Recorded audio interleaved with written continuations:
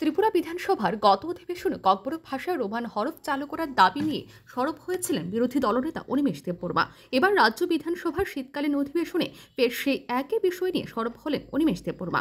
এ বিষয়ে বিরোধী দলনেতা অনিমেষ দেববর্মা বলেন, রাজ্যের পাঁচ হাজারেরও অধিক ছাত্রছাত্রী ককবরক বিষয় নিয়ে পড়াশোনা করছে এবং তাদের মধ্যে মহাবিদ্যালয় ও বিশ্ববিদ্যালয় স্তরে পাঠরত ছাত্রছাত্রীরা ককবরক ভাষায় পরীক্ষা দিচ্ছে। কিন্তু সিবিএসই বোর্ড পরিচালিত পরীক্ষাগুলোতে ককবরক ভাষা পরীক্ষা দেওয়ার কোনো নিয়ম এখনও চালু করা হয়নি। তাই হাজার হাজার জনজাতি ছাত্রছাত্রীদের ভবিষ্যতের কথা চিন্তা করে সিবিএসই বোর্ড পরিচালিত পরীক্ষাগুলোতে ছাত্রছাত্রীরা যেন ককবরক ভাষায় রোমান হরফে লিখতে পারে, তার জন্য রাজ্য সরকারের পক্ষ থেকে সিবিএসই কর্তৃপক্ষকে যেন চিঠি প্রেরণ করা হয়।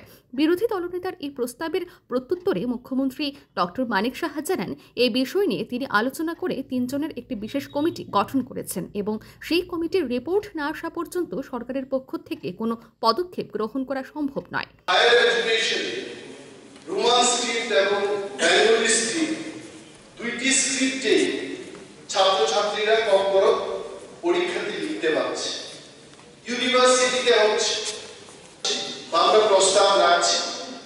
এই হাজার হাজার ছাত্রছাত্রীদের ভবিষ্যৎ যেন নষ্ট না হয়, তার জন্য রাজ্যের শিক্ষা দপ্তর থেকে বা ডাইরেক্টরি অফ কম্পরন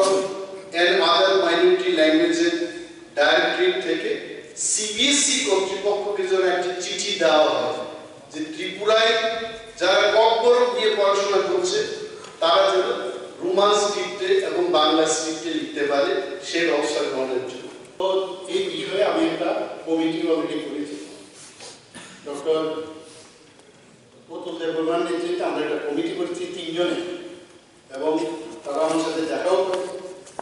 তাদের রিপোর্ট পাওয়ার পরে আমি সিদ্ধান্তে মুখ্যমন্ত্রীর এই বক্তব্যের প্রত্যুত্তরে বিরোধী দলনেতা অনিমেষ দেববর্মার পাশাপাশি সিপিআইএম বিধায়ক জিতেন্দ্র চৌধুরীও সরব হন এদিন। তিনি বলেন, আগামী পনেরোই ফেব্রুয়ারি থেকে সিবিএসই পরিচালিত দশম ও দ্বাদশ শ্রেণির পরীক্ষা শুরু হতে চলেছে এবং ছাত্রছাত্রীদের কথা মাথায় রেখে সেই পরীক্ষার আগে রাজ্য সরকার যেন সিবিএসই কর্তৃপক্ষকে চিঠি প্রেরণ করেন।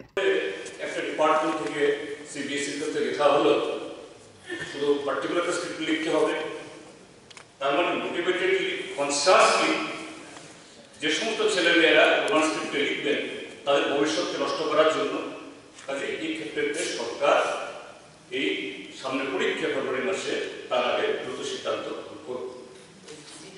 আগেও কিন্তু আমরা প্রশ্নটা করেছিলাম সিবিএসসি কাছে। যাই হোক, আপনি যেহেতু বলছেন স্ক্রিপ্টের বিষয়ে, আমরা চিঠি দেব। চিঠি দেব বলছি, কি বলে বলুন।